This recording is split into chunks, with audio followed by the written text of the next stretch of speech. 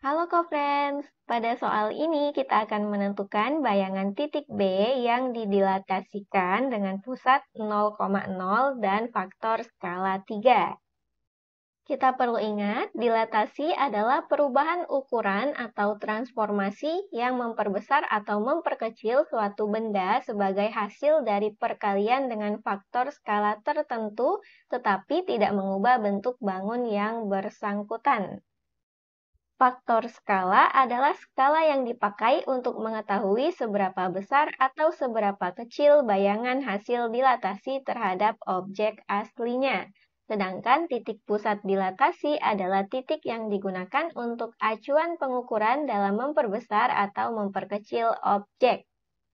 Nah, untuk menyelesaikan soal ini, kita perlu ingat secara umum konsepnya suatu titik B yang misalkan koordinatnya secara umum X1, Y1, kalau didilatasikan dengan pusat 0,0 dan faktor skala K, maka bayangannya kita simbolkan dengan B aksen yang koordinatnya kita peroleh dari rumus KX1, KY1.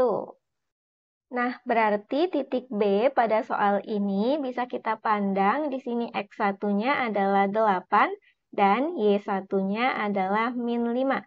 Sehingga bayangan titik B kalau didilatasikan dengan pusat 0,0 dan faktor skala 3 sesuai rumusnya kita akan punya bayangannya kita simbolkan dengan B aksen dan koordinatnya berarti 3 dikalikan dengan 8, 3 dikalikan dengan min 5 seperti ini.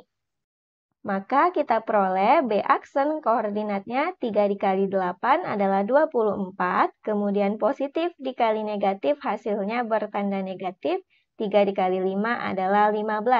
Maka B aksen koordinatnya adalah 24, min 15 yang sesuai dengan pilihan yang B. Demikian untuk soal ini dan sampai jumpa di soal berikutnya.